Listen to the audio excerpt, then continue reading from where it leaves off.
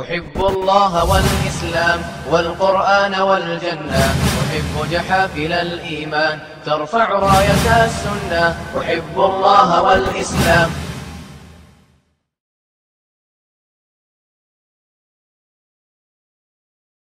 Alles Lob gebührt Allah, dem Herrn aller Welten, und ich bezeuge, dass niemand mit Recht und Wahrheit angebetet werden darf, außer Allah, der Allmächtige, und ich bezeuge, dass Muhammad sallallahu alaihi wa ala alihi wa sahbihi wa sallam sein Diener und Gesandt ist.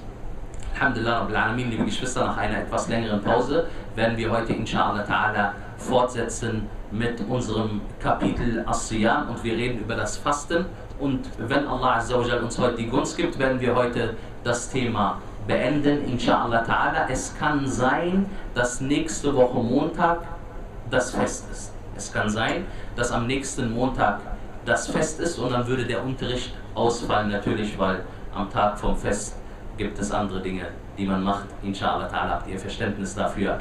Wenn Montag der Tag ist, dann bi'idnillah ta'ala fällt der Unterricht aus, damit ihr Bescheid wisst. Und wenn wir das heute schaffen, diesen Kapitel zu Ende zu führen, As-Siyam, dann fangen wir das nächste Mal mit Kitabun Nikah an. Und zwar reden wir über das Buch der Heirat und über die ehelichen Beziehungen, wie das bei uns im Islam alles festgelegt ist. Liebe Geschwister, wir haben natürlich schon einige Dinge besprochen bezüglich des Fastens. Heute werden wir darüber sprechen, was ist beim Fasten erlaubt.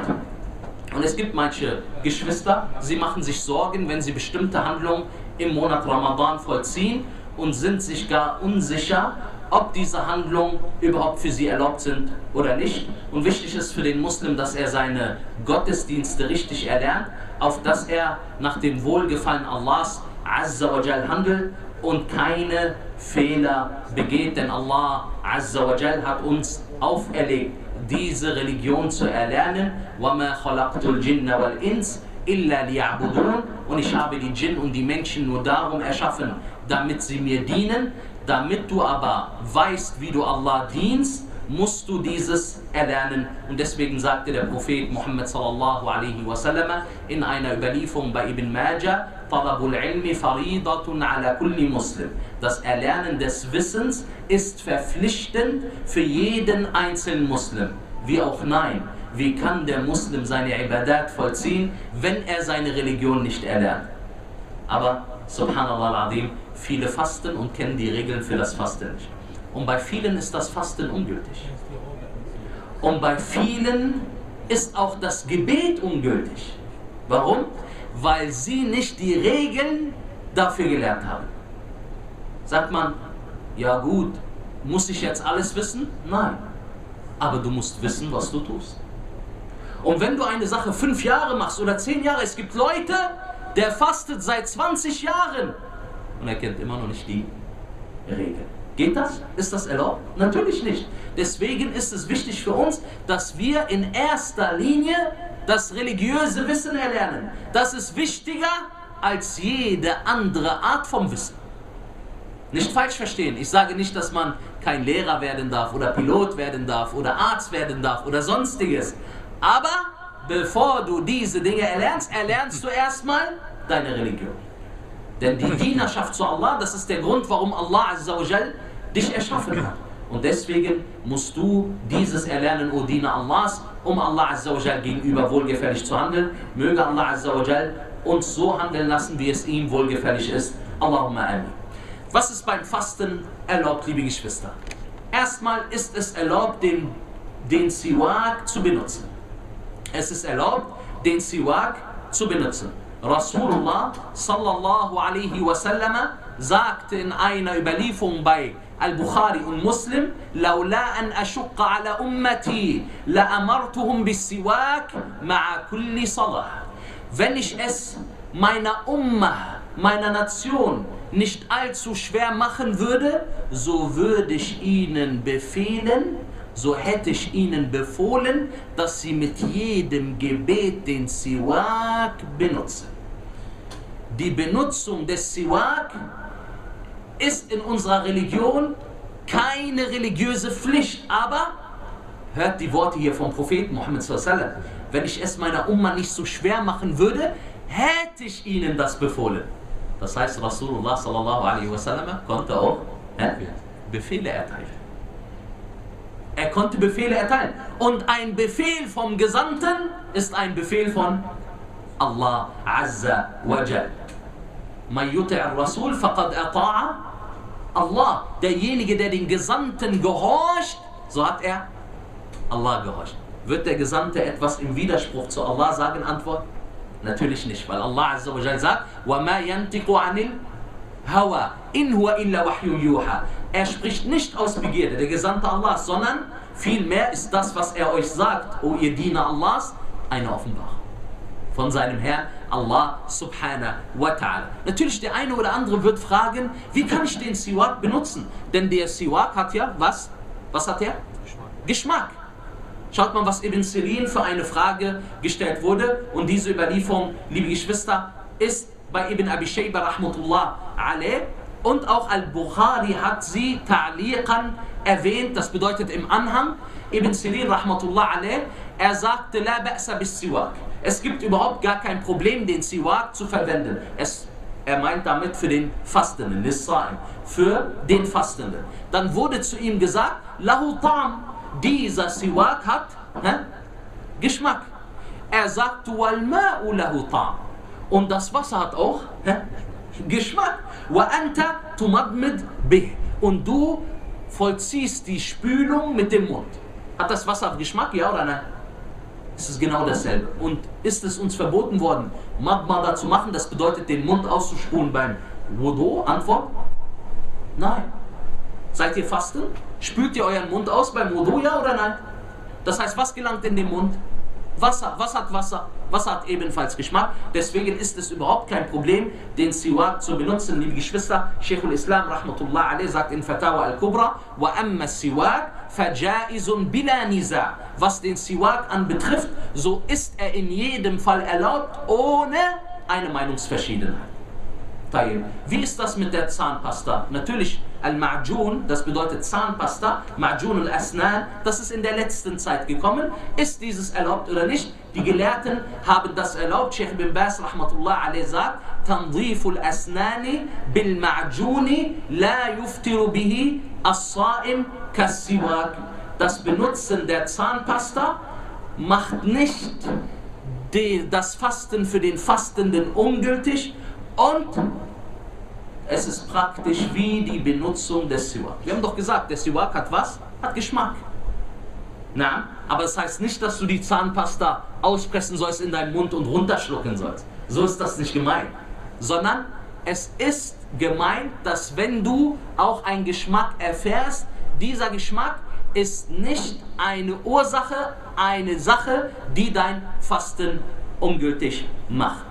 Ich hoffe, die Sache ist klar bezüglich des Siwak. Es ist überhaupt kein Problem, ihn zu benutzen. Es gibt auch Siwak, die haben Pfefferminzgeschmack und so weiter und so fort. Hauptsächlich, du isst den Siwak nicht auf. Ja? Sind welche, die sind übertreibbar. Und dann kaut er da drauf. Na, solange dies nicht der Fall ist, ist das kein Problem.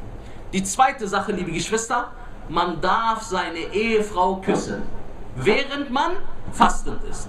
Aisha und Um Salama radiallahu anhum, sie sagten, قالت كان النبي صلى الله عليه وسلم يقبل ويباشر وهو صائم وكان أملككم لإربه Sie sagten, um Salama und Aisha radiallahu anhum, der Prophet Muhammad sallallahu alaihi wasallam hat geküsst und war intim, ich komme gleich dazu, während er fastend war. Und niemand hatte sich unter Kontrolle wie der Gesandte Allah sallallahu alaihi wasallam. Die Überlieferung ist erstmal bei Bukhari und Muslim, liebe Geschwister. Es ist erlaubt für den Fastenden seine Frau zu küssen. Aber was heißt küssen? Küssen. Nicht küssen. Ich hoffe, jeder versteht, was ich meine. Ein flüchtiger Kuss, der was nicht verursacht? Auch ein normaler Kuss verursacht Gefühle. Das ist nicht gemeint. Ein normaler Kuss verursacht auch Gefühle. Aber nicht mehr. Ich denke, jeder versteht, was ich meine. Ich brauche das nicht auszuführen. Bedeutet nicht ein Kuss in der Art und Weise, dass dieser Kuss Folgehandlung nach sich zieht. Möge Allah uns bewahren. Aber wer das nicht unter Kontrolle hat, was denkt ihr, darf er oder darf er nicht? Hä? Na? Mit Sicherheit nicht. Er darf nicht. Aber schön, dass wir darüber geredet haben. Äh, der Fastende darf seine Frau küssen. Ein leichter Kuss. Und der Prophet Muhammad sallam, guckt mal, wie am Ende beschrieben wurde, er hatte sich am meisten unter, unter Kontrolle. Das heißt, sallallahu alaihi wasallam hat die Grenzen nicht überschritten. Aber manche, bei ihnen besteht die Gefahr, dass sie die Grenzen hä, überschreiten. Ihr wisst, es gibt Leute, die sind ein Hormon mit zwei Füßen. Wenn irgendwas sie berührt, äh, in diesem Fall, nein, Zur Begrüßung oder Verabschiedung. ist kein Problem.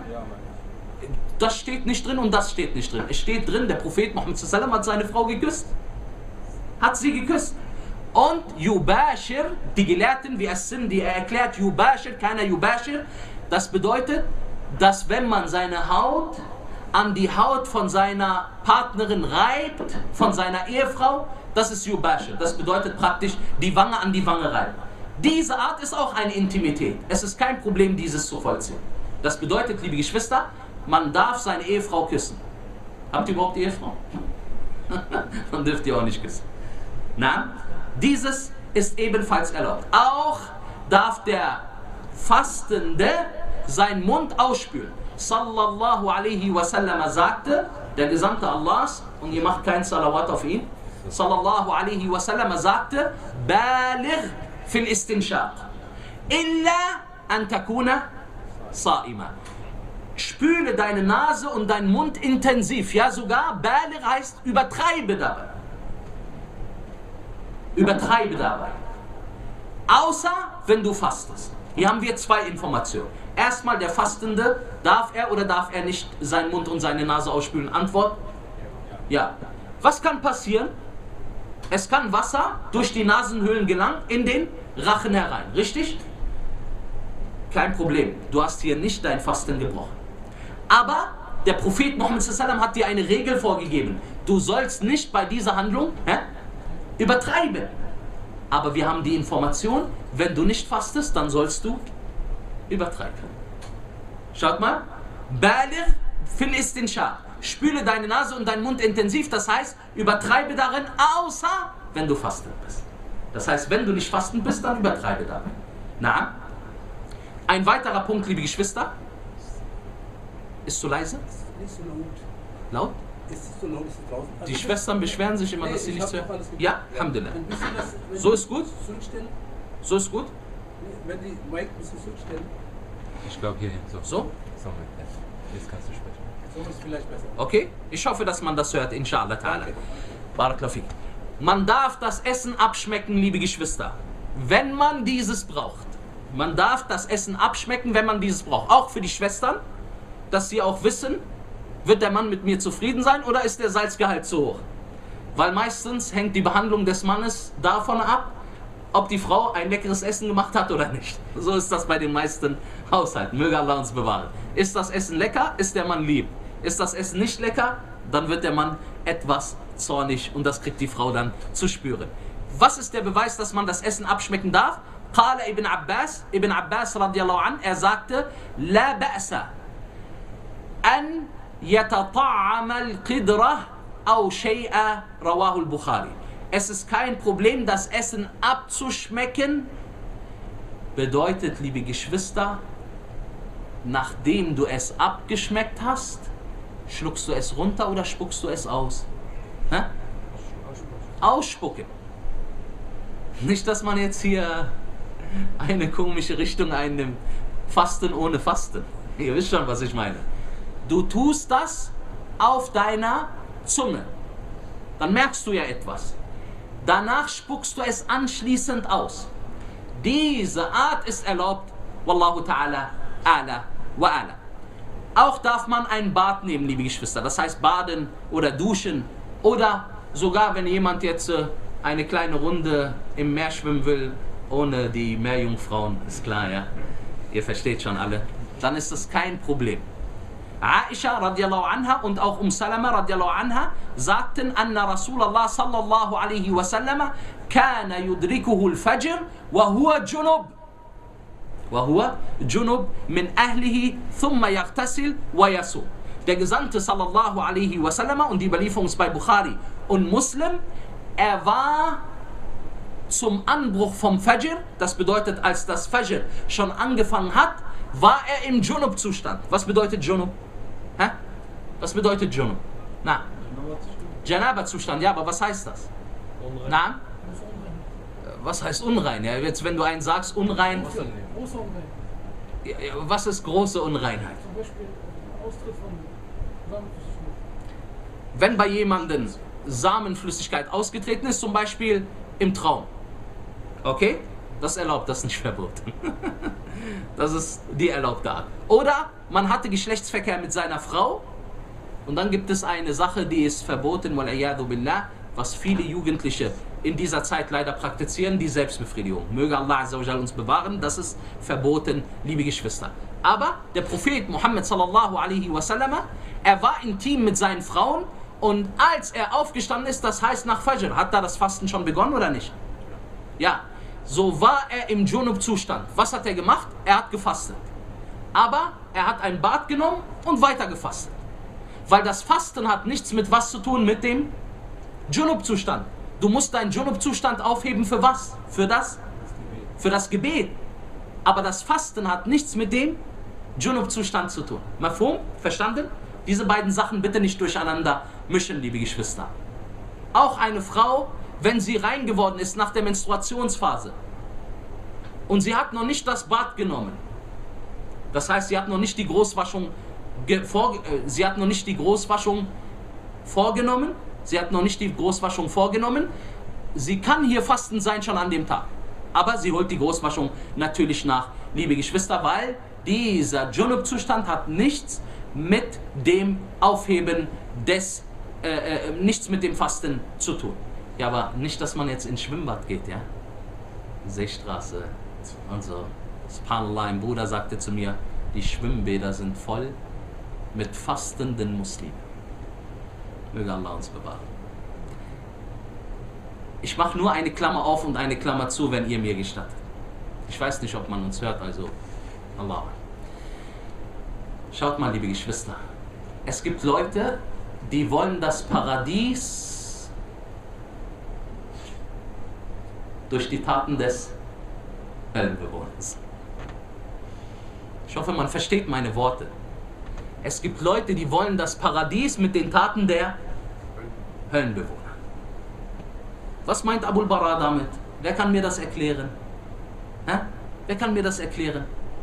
Wenn du die Leute fragst, die jetzt ins Schwimmbad gehen, möchtet ihr in das Paradies, was sagen sie? Du fragst sie weiter, möchtet ihr, dass Allah euch im Ramadan vergibt? Antwort, was sagen sie? Ja. Dann fragst du, du begehrst das Paradies mit den Taten des, der Höllenbewohner? Was ist das für eine Tat, ins Schwimmbad zu gehen? Wo die gesamten nackten Menschen, ich sage nicht nur Frauen, auch Männer, es ist verboten für die Männer, sich nackte Frauen anzuschauen und für die Frauen, sich nackte Männer anzuschauen. Ja, fürchtest du Allah nicht? Im Ramadan möchtest du nicht die Vergebung Allahs, wenn nicht im Ramadan, in welchem Monat? In welchem Monat erreichst du die Vergebung Allahs, wenn nicht im Ramadan? Allah ist immer barmherzig, aber besonders im Monat Ramadan. Er hat die Shayatin angekettet. Er hat die Toren des Höllenfeuers geschlossen. Er hat dir alle Türen zum Paradies eröffnet. Nur mit einer einzigen Ding, mit einer einzigen Erlaubnis, dass du in das Paradies gehst. Daraufhin sagst du, ja Allah, schließe mir alle Toren des Paradieses und öffne mir alle Tore des Höllenfeuers, denn ich möchte die Vergebung mit den Taten der, hä? Der Höllenbewohner. Und die Besten sind die, die dir sagen, ja, du brauchst ja nicht auf die Frauen zu schauen im Schwimmbad. MashaAllah. MashaAllah. Betrügen die Leute sich selber? Antwort, die betrügen sich selber. Aber wisst ihr, was schlimm ist in dieser heutigen Zeit? Die Leute sind zufrieden damit, dass sie sich selbst betrügen. Ja, Wallah, wir haben diese Zeit erreicht. Sie sind zufrieden mit ihren Sünden. Sie wollen ihre Sünden gar nicht verlassen. Wie viele lügnerische Zungen, und Abul Bara spricht immer Klartext. ich bin keiner, der jemanden Honig ums Maul schmiert, damit er in Jahannam geht. Möge Allah uns bewahren. Sondern ich sage den Leuten, wie der Weg in Jahannam ist und wie der Weg in das Paradies ist. Es gibt Leute, der sagt dir, ja schau mal, meine Nia ist gut, meine Absicht ist gut und ich bin doch fastend im Schwimmen. Ich faste doch, ich mache doch nichts Schlechtes. Und ich senke meine Blicke.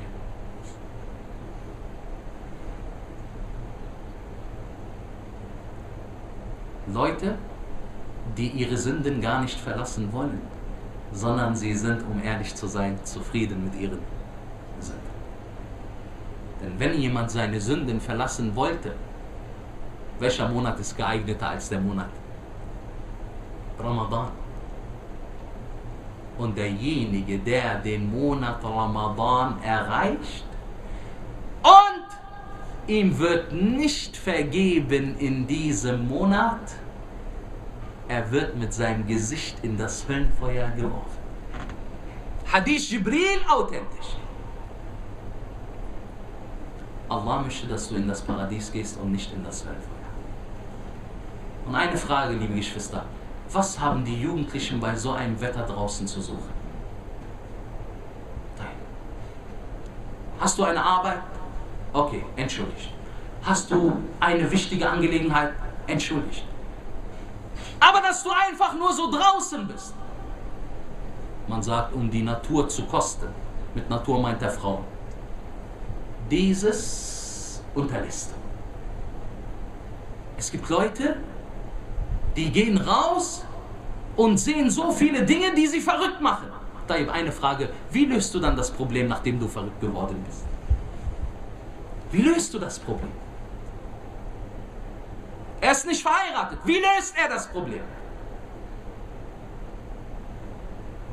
Und manche Dinge muss man nicht er näher erklären. Möge Allah Azza wa Jal uns vergeben. Eine Frau darf zum Frauenarzt, während sie fastend ist. Selbst wenn sie vom Frauenarzt, wir meinen Frauenärztin, ja, behandelt wird. Ich möchte nur zwei Worte zu den muslimischen Mädchen sprechen. Fürchtet Allah und habt Scham. Wisst ihr, was eine Schwester sagte, die zum Frauenarzt geht? Und man sagte ihr, warum gehst du zu einem Frauenarzt und nicht zu einer Frauenärztin? Sie sagte, der Mann ist erfahrener. Der Mann ist erfahrener. Es ist verboten für eine Frau, zum Frauenarzt zu gehen, wenn sie wohin gehen könnte, zu einer Frauenärztin. Es ist verboten. Guck mal, wie die Fiqh-Gelehrten genau die Sache unterscheiden. Wenn es überhaupt keinen anderen Arzt gibt, ist das was anderes. Aber wenn du eine Frauenärztin hast und eine muslimische bevorzugt, dann darfst du als Frau wo nicht hingehen zu einem Frauenarzt. Wie er ist erfahrener. Möge Allah uns nicht alles verstehen lassen. Wallahi, man will gar nicht verstehen, was manche Leute meinen. Subhanallah al-Azim, eine Frau sollte Scham haben, sollte Anstand haben. Und deswegen geht sie zu einer muslimischen Frauenärztin. In erster Linie. Wenn sie keine muslimische Frauenärztin findet, dann geht sie zu einer hä? Frauenärztin, die nicht Muslime ist. Aber sogleich, ja, das ist der nächste, den ich gefunden habe. Fürchte Allah und hab etwas Scham gegenüber dir selber und gegenüber deiner Religion. Es ist kein Problem, zum Frauenarzt zu gehen, liebe Geschwister. Zäpfchen, Zäpfchen, ihr wisst alle, was Zäpfchen sind? Wer weiß nicht, was ein Zäpfchen ist? Zäpfchen sind, äh, wie können wir das beschreiben? Das sind, äh, ja, also die werden in den After eingeführt. Okay? Die werden in den After eingeführt. Das sind so, gibt es verschiedene Größen und verschiedene Sachen. Dieses bricht nicht das Fasten. Dieses bricht nicht das Fasten, liebe Geschwister, denn das dient als Abführmittel. Und diese Abführmittel brechen nicht das Fasten. Auch jemand, der einen Zahnarzttermin hat, er soll das nicht im Ramadan machen. Aber wenn sich das nicht verschieben lässt, wenn das eine dringende Angelegenheit ist, dann kann er auch seine Zähne behandeln lassen. Er kann zum Zahnarzt gehen und es macht sein Fasten nicht ungültig. Er soll aufpassen, dass er nichts schluckt, liebe Geschwister. Augentropfen Ohrentropfen ist kein Problem. Selbst wenn etwas in den Rachen gelangt, weil du hast es nicht als eine Art Essen verwandt. Du hast es nicht als eine Art Essen verwandt. Auch derjenige, der Asthmatiker ist und dieses Asthma-Spray benutzt, liebe Geschwister, dieses ist kein ungültig werden des Fastens. Er kann weiter fasten, weil es ist überhaupt kein Problem für diese Person. Ebenfalls Spritzen, die eingenommen werden, wenn sie keine Nährwertspritzen sind. Die Ärzte unterscheiden zwischen Spritzen, da, ist Nährst da sind Nährstoffe drin, das bedeutet wie Essen und Trinken, nur in Flüssigkeitsform. Dieses bricht dein Fasten. Aber wenn es andere Spritzen sind, wie zum Beispiel Penicillinspritzen oder Insulinspritzen oder Impfung, dieses ist kein Problem und du kannst hier weiter fasten, wie Ibn Ibrahim Rahmatullah Ali sagte, liebe Geschwister. Na, wir kommen jetzt zum Tarawih-Gebet. Gibt es Fragen erstmal zu dem Thema, was wir gemacht haben? Bitte kurze Fragen und verständliche Fragen und Fragen, die für jeden interessant sind. Na. Blutabnahme? Blutabnahme ist auch kein Problem, das, das verletzt nicht das Fasten. Das bricht nicht das Fasten, liebe Geschwister. Na? Vater. Na, was macht man, wenn man Siwak benutzt und es gibt Reste vom Siwak im Mund, die spuckt man einfach aus. Aber ich schluck manchmal für Wenn man sie aus Versehen verschluckt hat, ist kein Problem, aber man soll das. Schaut mal, es gibt immer einen Unterschied zwischen aus Versehen und, ja, und schon sehr, sehr absichtlich.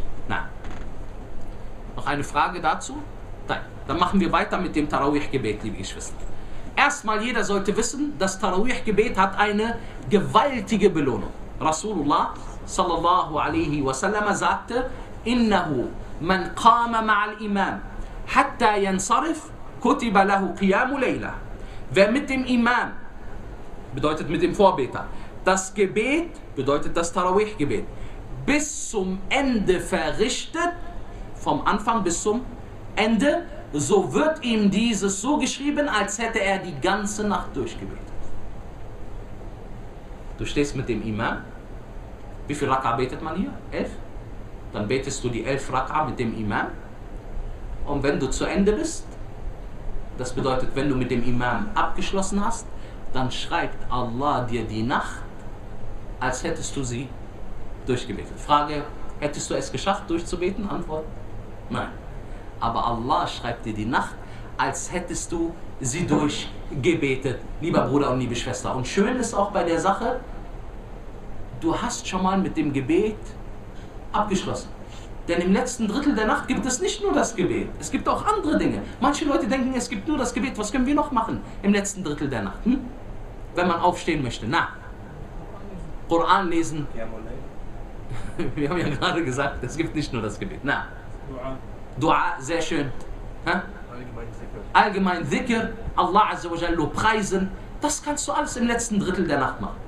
Denn die Nacht wurde dir schon geschrieben, als hättest du sie durchgebetet. Und es gibt noch andere Ibadat. Aber wer nach diesen elf Raka in der Nacht nochmal aufstehen möchte, im letzten Drittel und was beten möchte, zwei Raka, kein Problem. Hier ist es ihm erlaubt, liebe Geschwister.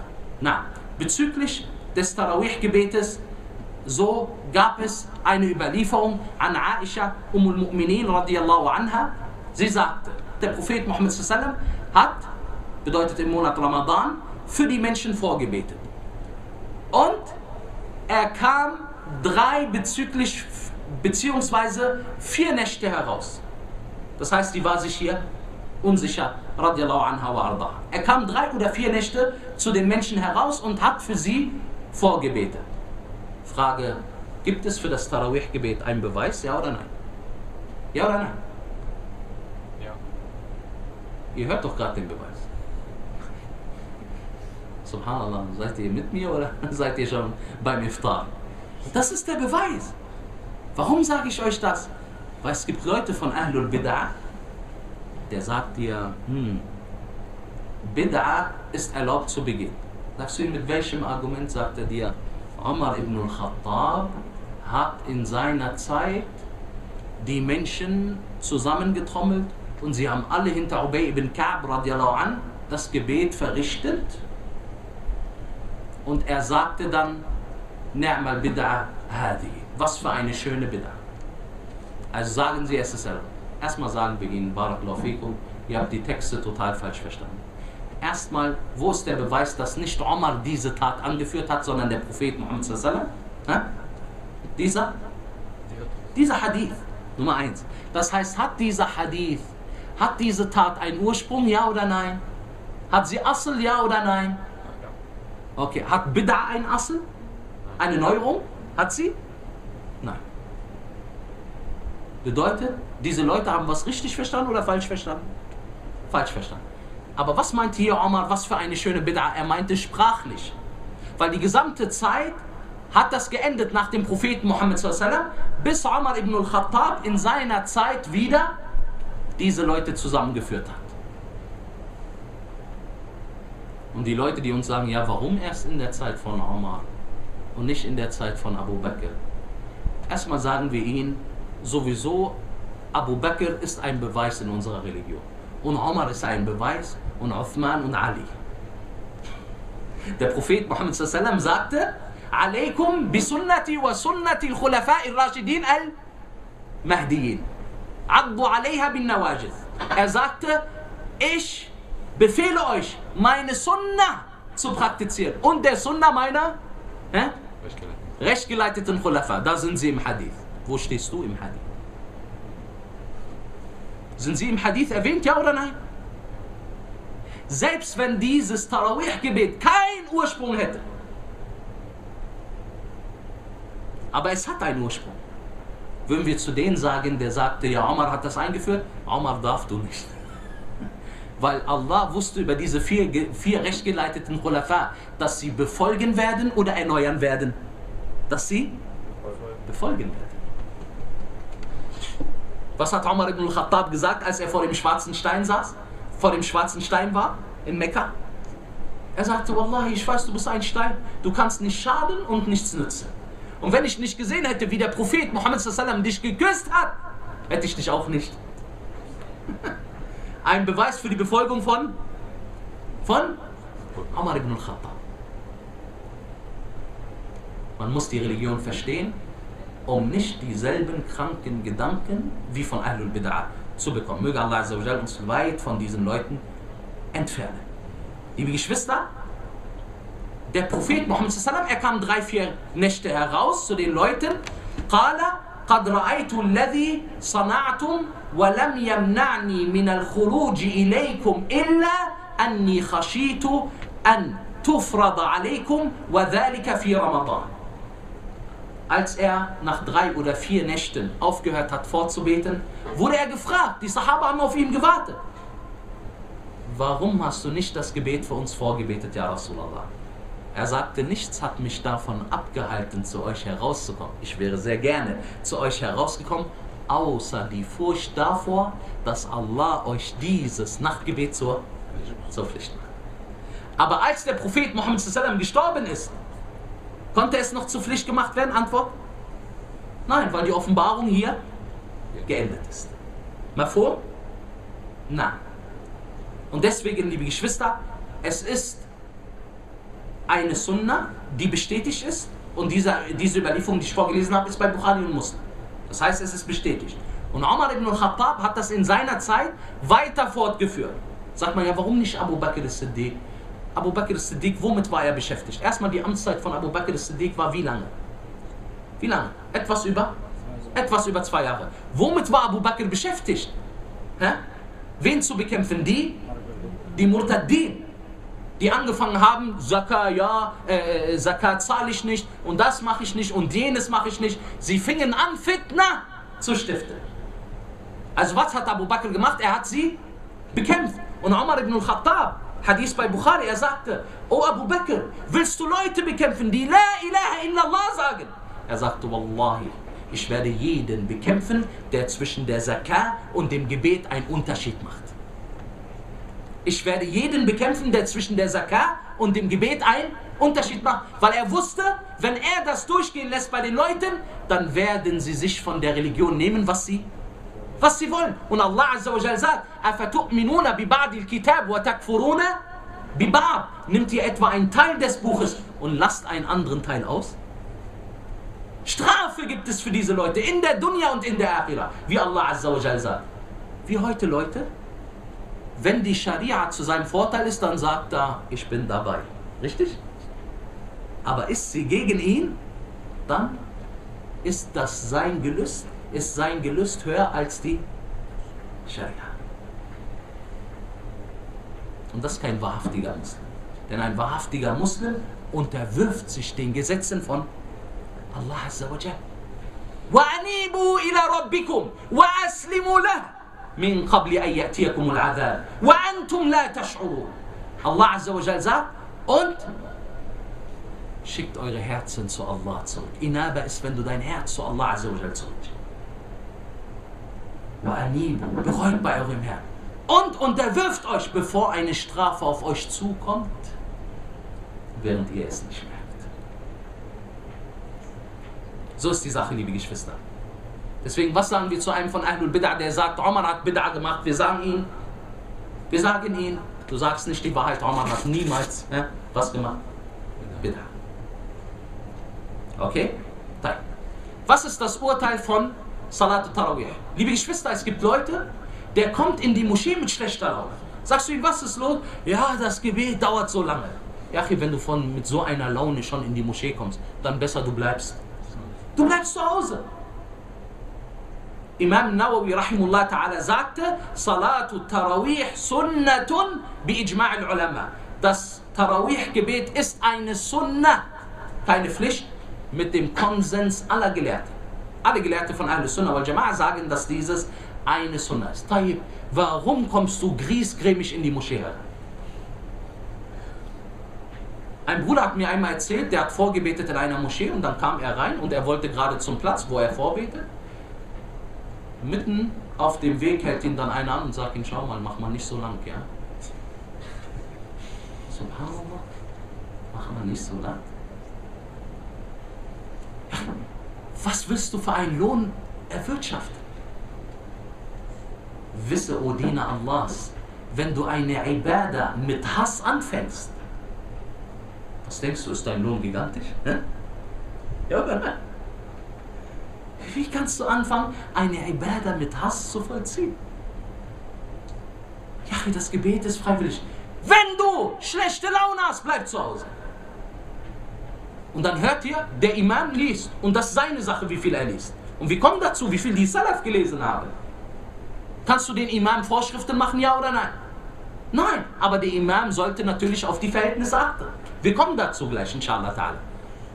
Dann hörst du einen im Gebet, der Imam rezitiert und es ist schön. Der macht den von hinten.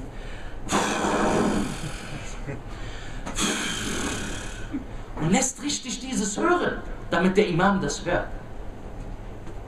Wir sagen ihm, du hast nicht für Allah gebetet. Wie, du hast nicht für Allah gebetet? Hättest du für Allah gebetet, hättest du was gezeigt, Herr?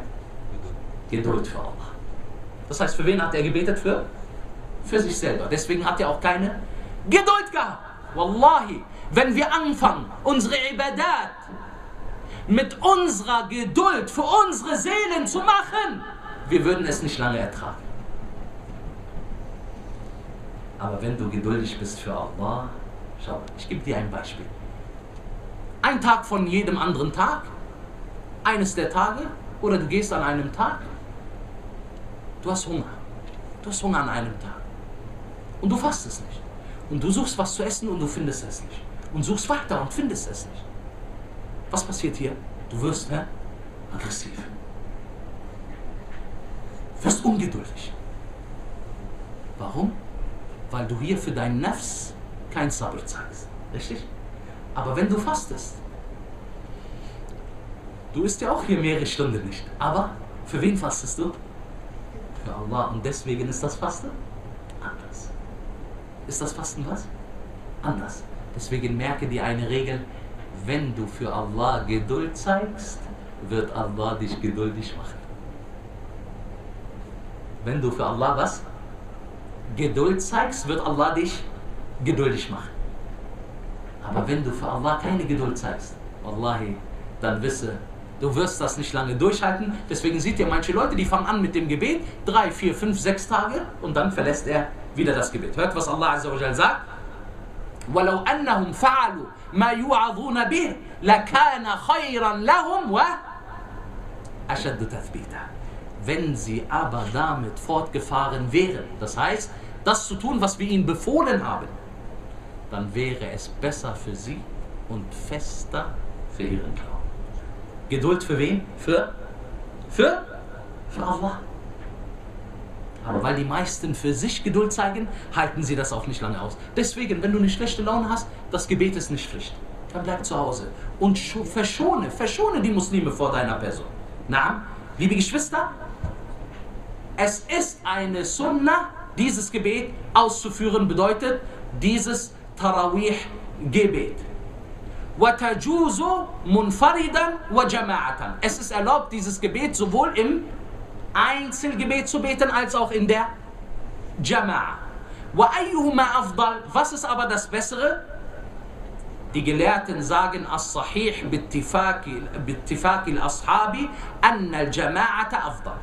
das Wahre, das Richtige, das Bessere, die richtige Ansicht ist, dass das Gebet in der Gemeinschaft besser ist.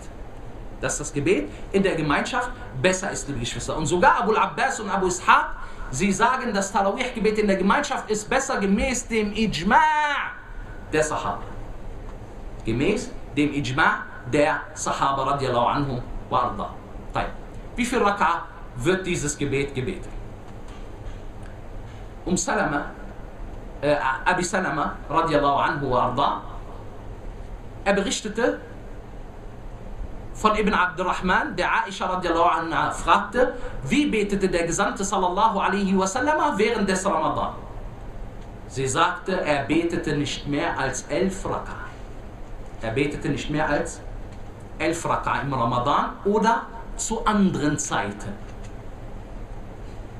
Die Information von Aisha radiallahu anha war, dass der Gesandte sallallahu alaihi wasallam sowohl im Ramadan als auch außerhalb des Ramadan nie mehr als elf Raka gebetet hat. Er betete vier, jetzt passt auf, und fragt nicht danach, wie schön und lang sie waren. Dann betete er drei. Was heißt das? Frag nicht danach, wie schön und lang sie waren. Der Prophet Muhammad sallallahu alaihi wasallam hat das Gebet in den elf Raka sehr, sehr, sehr lang gemacht. Und deswegen erklären die Gelehrten, war die Handlungsweise von Umar ibn al-Khattab an, dass er 20 Raka gebetet hat und es gibt davon authentische und nicht authentische Überliefererketten. Umar ibn al-Khattab hat 20 Raka gebetet, weil er das nicht so lang für die Leute machen wollte. Denn durch die Hinzufügung von Raka, was ist dabei gesunken? Die, hä? Was ist gesunken dabei? Er hat die Rakaat vermehrt, aber dafür wurde weniger rezitiert. Versteht ihr? Deswegen hat er 20 Rakaat gebetet. Und es ist kein Problem, auch 20 Rakaat zu beten, liebe Geschwister. Sheikhul Islam rahmatullah sagt, wenn jemand Tarawih entsprechend den Madhab von Abu Hanifa, Shafi und Ahmad mit 20 Raka betet oder entsprechend den Madhab von Imam Malik. Imam Malik hat 36 Raka gebetet. Oder mit 13 oder 11 Raka, so hat er es gut gemacht, wie Imam Ahmad rahmatullah sagt. Denn es gibt nichts, wodurch die Anzahl festgelegt werden könnte. Der Prophet Muhammad hat die Anzahl nicht festgelegt. Die größere oder kleinere Anzahl der Rakat hängt also davon ab, wie lang oder kurz der Qiyam, das Stehen im Gebet andauert. Denn der Prophet Muhammad sallam sagt in einer anderen Überlieferung, die anderen haben einen Beweis auch, wenn sie mehrere Rakat beten. Das Nachtgebet ist, hä?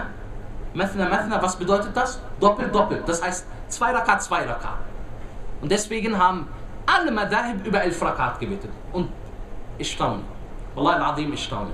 Es gibt Leute, der geht heute in die Moschee und wenn er hört, dass dort 20 Rakat gebetet werden, dann flippt er aus und macht Ärger in der Moschee. Aber der Jahil weiß nicht, dass die andere Partei auch Beweise dafür haben, was sie machen. Ja, das sind Dinge, man nennt sie, sie sind weit im Verständnis. Was heißt weit im Verständnis? Es gibt keinen klaren Nass. Nass bedeutet eine klare, einen klaren Beweis, der das eingeschränkt hat. Aisha sagte, der Prophet hat elf Raka gebetet. Bete elf Raka. Wir beten auch elf Raka. Hier wird auch elf Raka gebetet. Kein Problem. Aber musst du jemanden bekriegen, der jetzt 20 betet? Antwort? Hä? Nein, wie die. Und das ist das fehlende Verständnis von einigen Leuten, die wirklich dann anfangen, Ärger zu machen. Wann ist die Zeit für Tarawih? Liebe Geschwister, es gibt Leute, die beten vor dem Isha-Gebet das Tarawih. Ja, ich will früh fertig werden, da läuft noch eine Serie. Ach, die Sache ist nicht nach deiner Nase. An-Nawawi rahimullah ta'ala sagt in Al-Majmu' يدخل وقت التراويح بالفراغ من من صلاة العشاء. Die Zeit des Tarawih-Gebets beginnt, wenn das Isha-Gebet vorbei ist. ذكره البغوي وغيره. Und dieses haben Al-Baghawi und andere Leute, liebe Geschwister, bestätigt. ويبقى إلى طلوع الفجر und es geht bis zum Beginn der Morgendämmerung. Das heißt, es fängt an nach dem, nach dem Isha-Gebet und geht bis zum Beginn der Morgendämmerung. Die Sahaba radiallahu anhum sagten, das Tarawih-Gebet war bei uns so lang, dass wir befürchteten, den Suhur zu verpassen. Suhur. Und Isha ist nicht wie in Europa. Hier in Europa manchmal Isha-Gebet 11.30 Uhr. Aber in unseren Ländern ist das Isha wann ungefähr? Zwischen? Zwischen 19 und 20 Uhr. Lass mal auch 21 Uhr sein. Schaut mal, sie haben nach dem Isha-Gebet begonnen, bis kurz vor der Morgendämmerung. Allahu Akbar. Manche haben Stöcke genommen, um sich darauf zu stützen, aber sie haben trotzdem was gezeigt? Geduld. Geduld. Heute, der Imam sagt, Alif Lam Mim. Wird er weitermachen? Der hat gerade den Anfang der Sura vorgelesen. Keine Geduld. Aber wenn Brasilien gegen Deutschland spielt, setz dich hin, richtig, beweg dich nicht. Du hast gezwinkert mit dem Auge, mach dein Auge zu. Für Dunja hat er Geduld. Aber für die Religion hat er keine Geduld. Aber schaut mal, was die Gelehrten sagen, liebe Geschwister, welche Zeit man bevorzugen sollte. Ibn Qudama rahmatullah alayh sagt in Al-Mughli, وَقِيلَ لِأَحْمَدْ Zu Imam Ahmad rahmatullah alayh wurde gesagt, تُؤَخِّرُ الْقِيَامَ يعني في التراويح إلى آخر الليل verschiebst du oder verspätest du das Tarawih-Gebet bis zum Ende der Nacht? قال لا. Er sagte nein. Sunnatul Muslimina ahabbu ilay. Die Gewohnheit der Muslime ist mir lieber. Was bedeutet das, die Gewohnheit der Muslime ist mir lieber? Bedeutet, ich möchte es ihnen nicht zu schwer machen. Und deswegen bei uns in, in der Moschee, und ihr wisst das, Tarawih-Gebet fängt spät an, weil das Isha-Gebet ist kurz vor 11 Uhr, bei manchen um 10 Uhr auf jeden Fall. Das äh, Isha-Gebet ist ungefähr kurz vor 11 Uhr und danach, die Leute haben Arbeit am nächsten Tag. Dann kannst du auch nicht sagen, ja, die sollen mal Geduld zeigen wegen ihrer Arbeit. Nein, hier betest du ein leichtes Gebet. Halbe Seite, ja, reicht. Hauptsache, die Leute spüren diese Atmosphäre, sie sehen ihre Brüder untereinander und das Gemeinschaftsgefühl wird gestärkt. Du brauchst hier nicht zwei Stunden zu lesen. Aber es gibt Moscheen, die sind bekannt, wie auch in unseren muslimischen Ländern. Man weiß, wenn du dorthin gehst, dann brauchst du eine Blutdrucktablette, weil die beten wirklich lang. Und wenn du das nicht aushältst, brauchst du erst gar nicht da reinzugehen. Brauchst du gar nicht erst reinzugehen. Deswegen, aber was nicht schön ist, liebe Geschwister, ist, dass manche Imame, möge Allah sie recht leiten, sie beten das Gebet sehr kurz und der Dua ist länger als das gesamte Gebet. Das ist kein guter Akhlaq. Warum?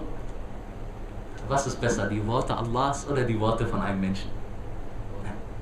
Die Worte von Allah. Ihr versteht, was ich meine? Das Tarawih-Gebet ist sehr kurz. Aber das Dua, kein Problem, du kannst Dua machen. Aber bitte nicht länger als das gesamte Gebet. Wenn jemand zu Hause beten möchte, er kann das machen. Aber er soll wissen, das Gebet für ihn in der Gemeinschaft ist besser. Anders ist es bei der, bei der Frau. Und die Gelehrten haben nur erlaubt, für die Frau herauszugehen zum Tarawih-Gebet, wenn sie hä, sich erstmal richtig bekleidet. Nummer eins nach der Scharia. Das bedeutet, dass sie sich richtig bedeckt. Nummer zwei, sie trägt was nicht auf? Kein, kein Parfüm. Und hat keine Kleidung, die so Schmuckkleidung ist, wo sie andere Leute mit verführt. Wenn das der Fall ist, darf sie nicht zu diesem Gebet gehen. Und das Gebet für die Frau ist natürlich zu Hause besser. Besser bedeutet mehr in der Belohnung, liebe Geschwister. Könnt ihr noch? Ich mache es von euch abhängig. Wenn ihr noch könnt, dann mache ich weiter. Wenn nicht, dann machen wir nächstes Mal weiter. Ja, wir können noch weiter. Ja.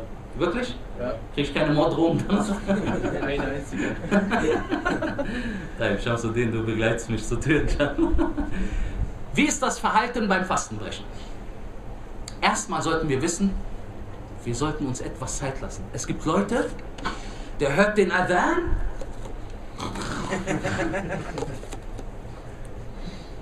Der macht nicht mal was vor dem Essen ein. Ein Dua. Schaut mal, was der Prophet Muhammad sallam sagte. Inna lillahi inda kulli fitrin. Allah, er erlöst Seelen vom, vom Höllenfeuer und das beim Beginn vom Iftar. Das heißt, mit dem Iftar, dass du dein Fasten brichst, erlöst Allah hä? deine Seele von der Hölle, aber nicht, wenn du so machst. Das heißt, du sagst ein Dua und wir kommen gleich dazu, welches Dua man spricht, liebe Geschwister, und du bittest Allah darum, dass er deine Seele von was bewahrt? Von, von dem Höllenfeuer. Ich möchte nur eine Sache, dass ihr das versteht, liebe Geschwister. Alhamdulillah, es gibt Muslime, die praktizieren ihre Religion. Walhamdulillah. Denn es ist nicht selbstverständlich, dass in dieser Zeit jemand seine Religion praktiziert. Aber wir wollen diesen Muslimen nur ein Zuckerschlecken dazugeben.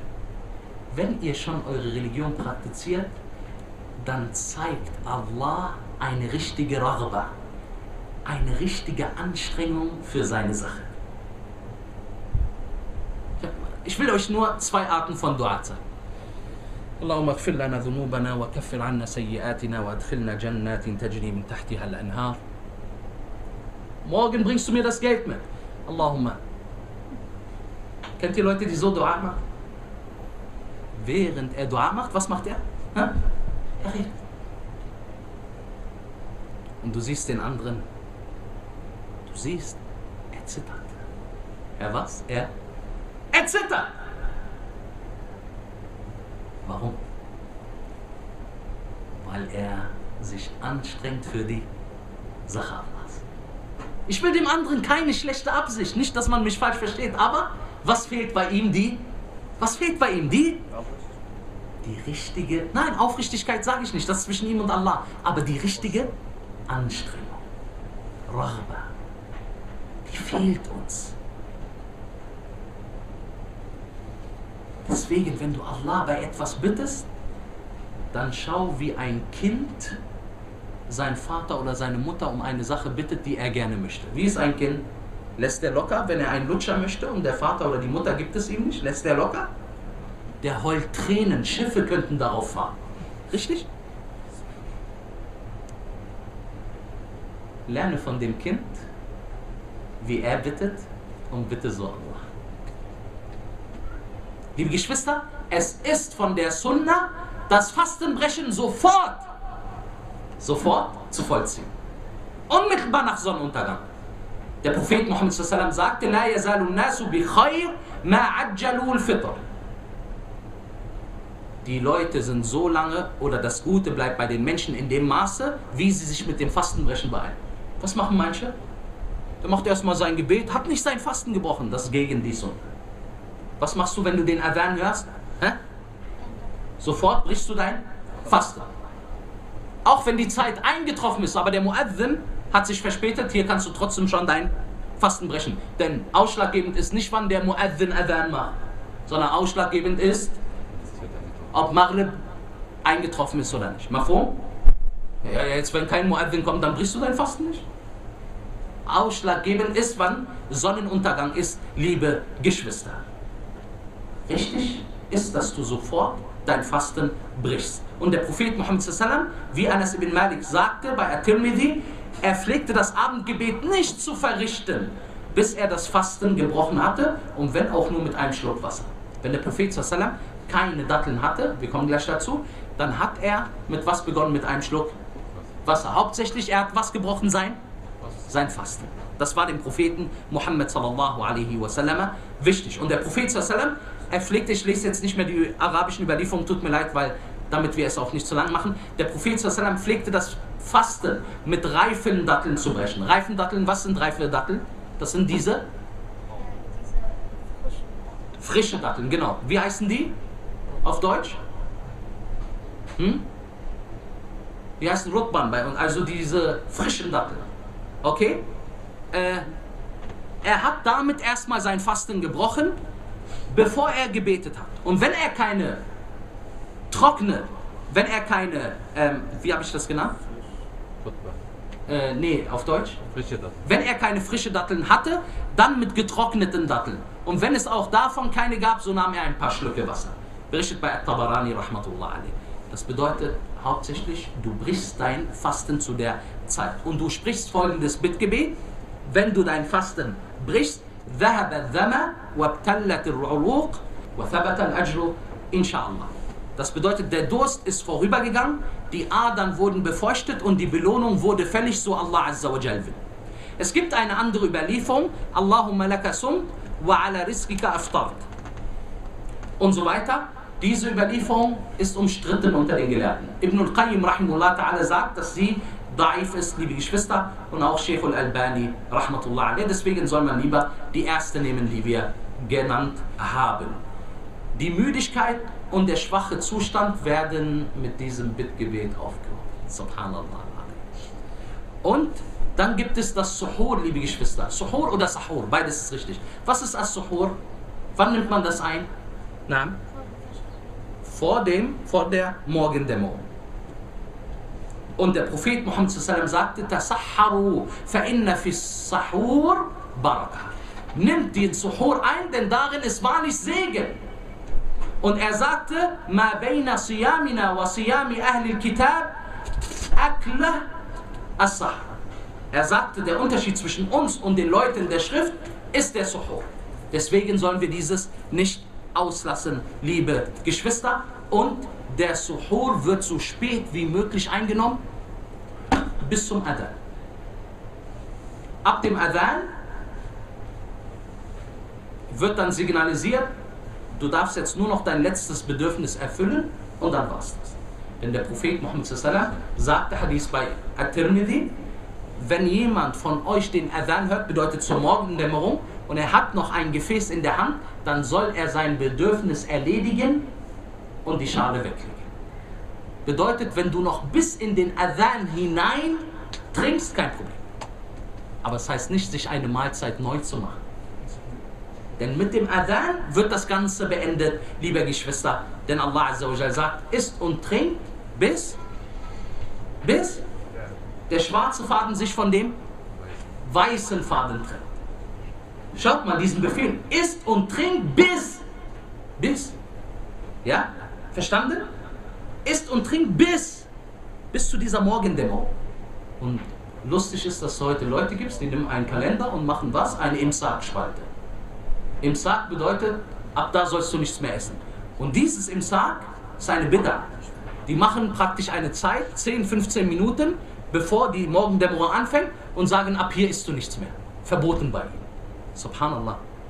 Allah sagt, isst und trinkt bis zur Morgendämmerung. Und sie sagen, hör auf, 15 Minuten vorher zu essen. Auf wen sollen wir hören? Ist lustig, oder?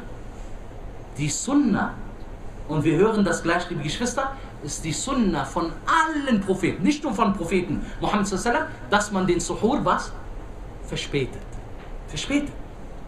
Weil darin liegt Segen, liebe Geschwister. Wie gesagt, dieses Imsak, was eingetragen wird in den Kalendern, gehört überhaupt nicht zur Sunna und ist gegen die Sunna. Aber heutzutage ist sowieso Sunna Bid'a und Bid'a ist Sunna. Wir leben in dieser Zeit, liebe Geschwister. Der Prophet sallam sagte, meine Oma bleibt so lange im Guten, wie sie das Fastenbrechen vorzieht und das Suhur verzögert. Das Suhur was?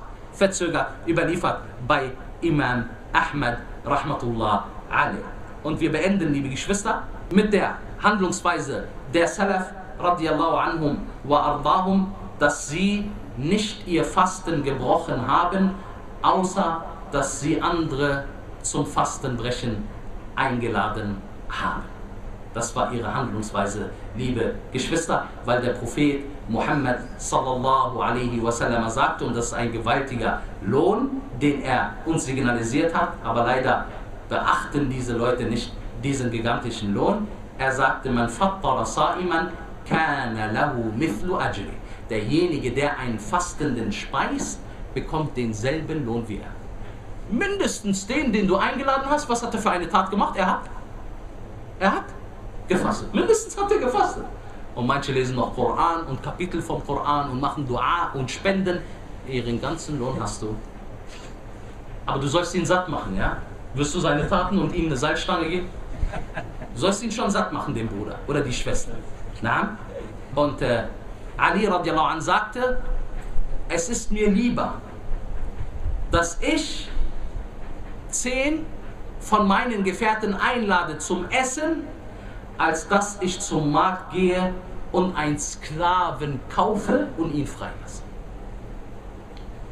Weil sie wussten, wie gewaltig diese Belohnung ist. Und sie haben ihr Fasten nicht gebrochen, Ihre Türen standen auf im Ramadan. Jeder, der kommen wollte, hat mit ihnen das Fasten gebrochen. Habe ich etwas Gutes gesagt? Ist es von Allah? Habe ich etwas Schlechtes gesagt? Ist es von mir und von der Shaitan? Möge Allah subhanahu wa ta'ala mir vergeben. Subhanakallah wa bihamdik. Ashhadu an la ilaha illa ant. Astaghfiruka wa atubu ilayk. Allahumma salli wa sallim wa barik ala nabina Muhammad wa ala alihi wa sahbihi ajma'in. Und barakallahu fikum für euer gutes Zuhören. Ich entschuldige mich nochmal, wir haben etwas länger gemacht, aber dafür haben wir das Kapitel jetzt beendet. Nochmal, nächsten Montag, wenn Sonntag oder Montag das Fest ist, dann fällt der Unterricht aus. Und die darauf folgende Woche, wir schreiben das sowieso auf unserer Seite, inshallah, und die darauf folgende Woche fangen wir dann mit dem Bab an-Nikah an, inshallah, damit ihr alle, wenn ihr heiratet, auch vorbereitet seid auf die Heirat. Wer möchte von euch überhaupt heiraten? keine Angst. Ich mache keine Werbung für euch. Na. Äh, äh, طيب. Wer Fragen hat, so können wir das jetzt in Kürze klären, inshallah ta'ala. Die Frauen können ihre Fragen aufschreiben, aber wir wollen es nicht allzu lang machen. طيب. تفضل تفضل شمس. Äh, jetzt manche Moscheen essen bis 3 Uhr und manche bis 3.30 Uhr. Na. Ich esse auch bis 3.30 Uhr. Na. Wie sieht es aus, wenn ich in einer Moschee bin, die bis 3 Uhr essen, die machen ja Asan? Na. Kann ich trotzdem weiter essen? Ähm, wie ist das? Der Bruder stellt eine gute Frage. Es gibt ja unterschiedliche Zeiten in den Kalendern. Vielleicht habt ihr das gemerkt. Ihr solltet nur eine Sache wissen, liebe Geschwister. Die meisten tragen in den Kalendern die Fajr-Zeit ein, nicht die echte Morgen der Morgen, sondern die unechte. Es gibt Al-Fajr al-Kadhib und Fajr al-Sadiq. Dazwischen ist ungefähr eine halbe Stunde. Da hast du sie. Okay? Und deswegen, was mache ich aber, wenn ich in einer Moschee bin? Die haben um 3 Uhr zum Beispiel, fangen sie an. Dann isst du hier nicht vor ihnen, um was zu entgehen der, der Fitna. Weil sonst gibt es Probleme. Und wenn die schon wissen, dass Besser, das nicht vor ihnen zu machen. Du kannst das für dich machen, heimlich, ja. heimlich, aber so, dass sie das nicht sehen, damit man nicht diese Fitna macht, liebe Geschwister. Allah, wir wollen nicht im Ramadan auch noch Streit mit den Leuten haben. Aber ihr wisst ja, manche Leute sind immer streitsüchtig im Ramadan und außerhalb vom Ramadan. Na, stopp. Was sagen die Gelehrten über den Dua, den man zu Fajr und zu Maghrib sagt? Allahumma ajirna min al-nar siebenmal. Äh, was ist mit dem Dua, den man zum Fajr und zum Maghrib. Isha, äh, zum Maghrib sagt?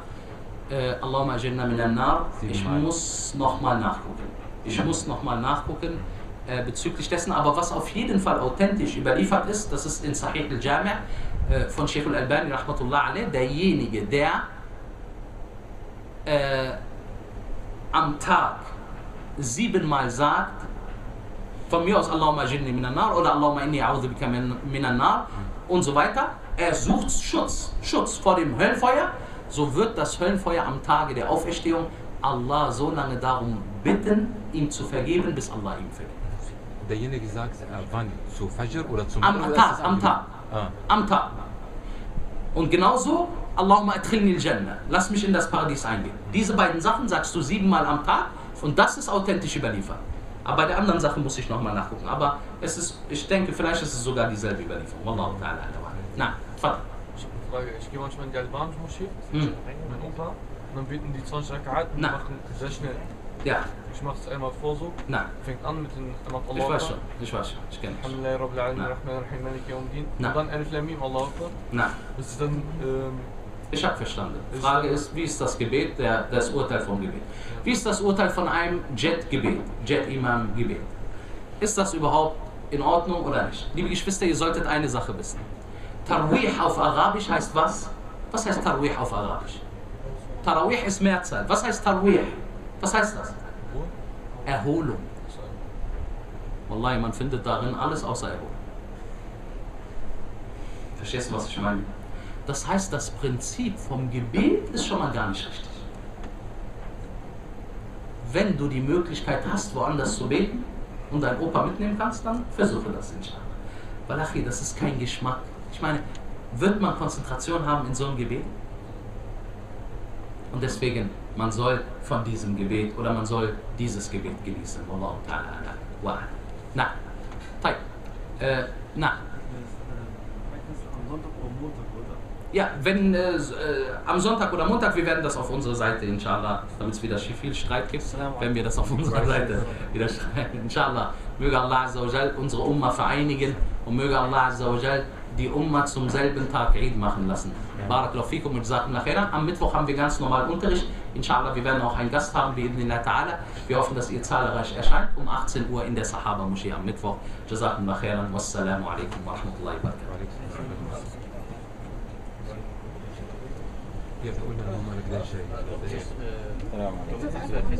السلام عليكم ورحمة الله وبركاته. حياك الله. الله يحفظك. الله يعزك الله يسلمك. الحمد لله. الحمد لله. نسأل الله يتقبل منا جزاك الله خيرا. الله يحفظك السلام عليكم عليكم السلام ورحمة الله وبركاته. أحمد وش أحمد؟ عليكم السلام. كيف حالك يا جميل؟ خير إن شاء الله. يا. ما شفت السلام عليكم. شو اللي كان الحمد لله بارك الله فيك. كيف؟ إيه خليه يطفي الحمد لله. كيف تطفوا هذا؟ المخبز وعليكم السلام ورحمة الله وبركاته دين من دين